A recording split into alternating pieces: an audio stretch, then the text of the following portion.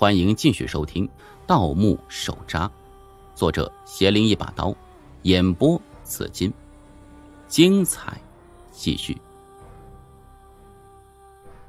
盗墓手札》第一百五十八章。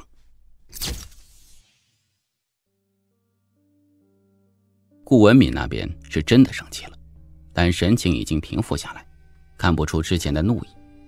他这不显山不露水的架势，更让我心中发血。心说这顾大美女平日里看着温柔体贴又善解人意，没想到生气起来却是山雨欲来风满楼啊！我还是顺着他点吧，未来的媳妇儿不能惹毛啊！现在男人已经不流行跪搓衣板了，现在都跪竹板呢。为了我的后半生，我可得哄哄他呀！如今他和机器人四个都有要去救人的打算，我自然不可能置身事外，只能立刻表忠心说：“我也不是说不救啊，刚才只是提个意见。既然你们都已经做了决定，我当然也不能落后，大家共同进退，一起救人。就算真出了什么事情，也算咱们英勇捐躯了，成不？”顾文敏黑黝黝的眼睛不冷不热的看了我一眼。表情僵着，不过他功夫没训练到家，嘴角若有若无的笑意被我抓住了。我松了口气，心道：这媳妇儿不是个爱记仇的，只不过哄一次就得拿命去拼，今后的日子恐怕就难过了呀。豆腐见我立刻缴械投降，顿时变色，压低声音说：“嘿，你个变态！平日里冷着个脸，跟我欠你钱一样。”怎么一遇到女人就能说会道的？到底是兄弟重要还是女人重要啊？兄弟如手足，女人如衣服。既然兄弟比较重要，为什么吃泡面的时候你总是抢我的赠品火腿肠啊？谁说兄弟重要啊？当然是女人重要啊！不是？难道手足比不上衣服吗？断了手足照样可以上街，不穿衣服。你敢上街吗？豆腐顿时呛住了，瞪着眼，一句话也说不出来。我没搭理他。对于这种连抢他火腿肠都要记仇的人，我已经不想跟他交流了。众人一致决定救人，便商议了一个进入食人藻内部的对策。由于食人藻过于密集，因此我们的木筏是不可能划过去的。但林教授不会是人老成精。先前，我们几个争执之前，他已经想出一个主意了。我们的木筏一共三个，虽然面积大，但比较薄，并不沉重。我们可以采用搭桥的方式前进，即站在木筏上，将后面的木筏拖放在前方，人再挪到前面的木板上面，如此交替而行。再加上水的浮力相助，拖动木筏并不困难。充其量比我们划船要慢一些，但速度上也不会耽搁太多。那个如同人在叫的奇怪声音，时而响起，时而止息，无不提醒着我们那人还活着。之前我虽然有顾虑，不过既然决定救人，就得全力以赴啊！多年的创业经验告诉我，做事三心二意、畏首畏尾的人，最终都会被淘汰。既然下了决心，就只能拿出舍命的觉悟，走到底了。很快，我们的木筏在手工移动之下，已经进入食人藻中。回望身后，不远处就是蓝色的海洋，但是往前看，却是血红一片呢。众人竖着耳朵，聆听那声音的动静。那声音似乎是从西北方向传来的。在行进过程中，之前所有看到的金属块很快就拉近距离了。林教授想知道究竟是什么东西遇难，便稍作停顿，用挖蘑菇用的铁推子将那东西给勾了过来。所谓的铁推子，是对付自来石一类的工具，主要针对一些从地宫内部反锁的机关。前面是一个几字形，勾东西特别顺手。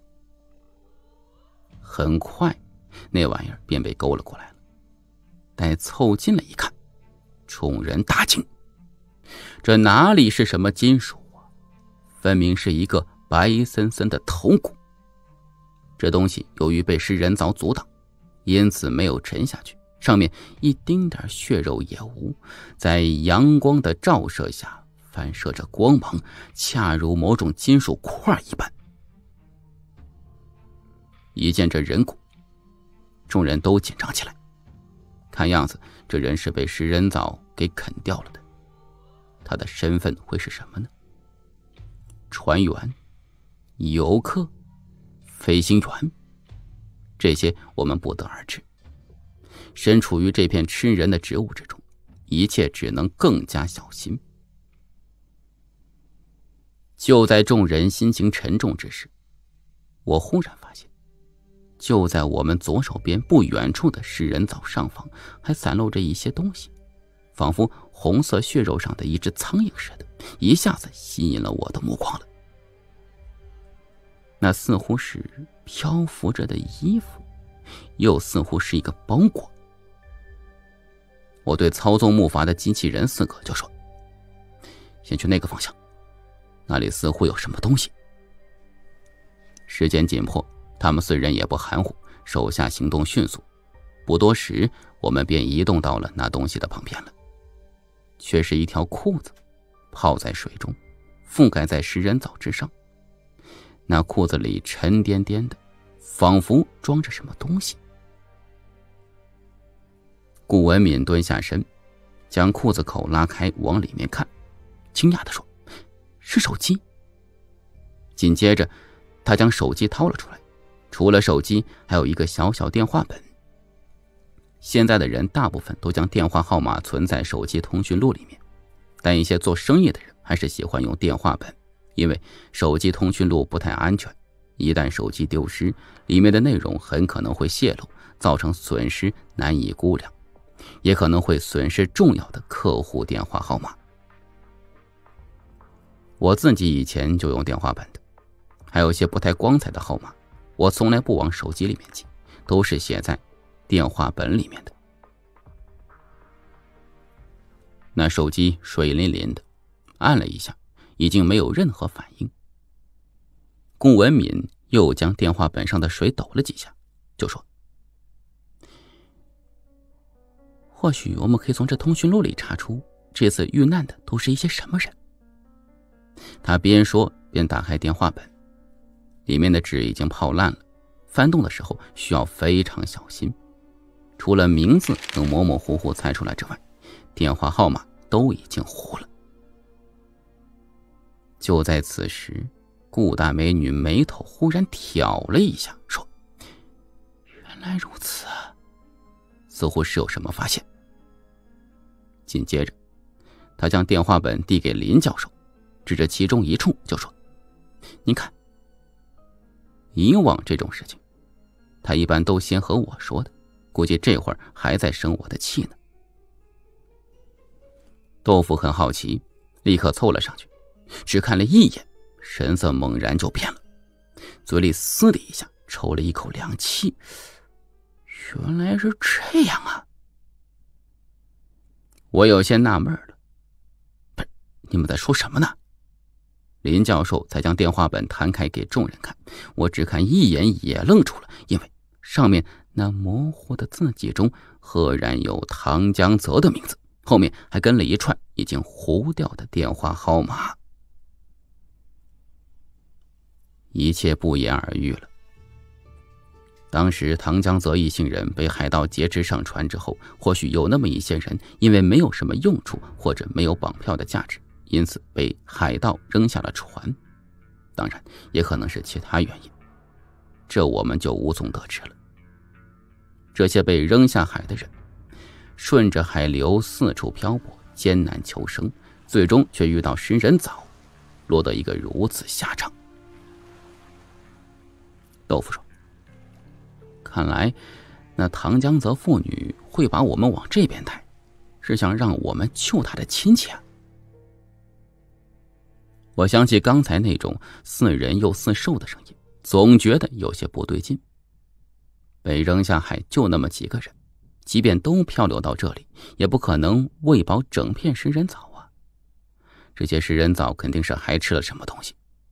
如果还有生还者，那他为什么没有被吃掉呢？这些问题我一时也想不出个所以然来。众人只能暂且放下，继续朝原定方位而去了。随着距离拉近，那声音也是越来越清晰。只等到近处，我们便都察觉出不对劲来了。之前由于隔得远，声音听起来模模糊糊，似是而非，像人又像兽。我们当时先入为主。认为是有人遇难，但这会儿离那声音很近了，那声调却依旧未变，显然不是人的声音。林教授竖着耳朵仔细辨别，推测说：“绝对不是人，咱们之前搞错了。这声音好像是某种鲸的叫声。我并没听过鲸的声音。”但鲸据说很少出声，在许久之前，还有生物学家认为鲸是一种哑巴动物。但随着研究的深入和解剖，人们发现鲸有声骨，其实是可以发出声音的。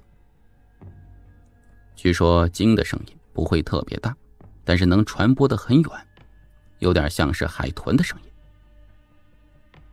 林教授这么一说，我还真觉得那声音有些像是海豚。但是和海豚尖锐的声音不同，我们现在所听到的声音却是比较低沉的，虽然不大，但却很清晰的钻入耳中。我恍然大悟，难怪这些食人藻一个个吃的发红啊，他们肯定是困住了一条鲸了。阿英打了个寒颤，说：“这太可怕了。”鲤鱼说。我估计他们困住的不止一条，否则现在我们也听不到声音了。我朝着远方眺望，尽头处食人藻抖动的比较厉害，似乎里面有什么东西在挣扎着，而我们之前听到的声音，恰好就是从那里所发出来的。林教授说：“鲸是一种比较珍贵的海洋哺乳动物。”既然咱们遇到了，也不能见死不救。我看他应该是被困住了，咱们想办法把他弄出来。对于林教授会做这样的决定，我一点也不意外。鲸这东西是从恐龙时代就存在的生物，它们从陆地上进化而来，虽然生活在海洋里，却并不属于鱼类。近年来，海洋环境破坏。再加上人类的捕杀，这种古老活化石的数量已经达到一个岌岌可危的地步了。以林教授的个性，绝对不会放任一条鲸鱼被困死。估计就算他自己死，他也不舍得让那条鲸就这么被困死在食人藻里面。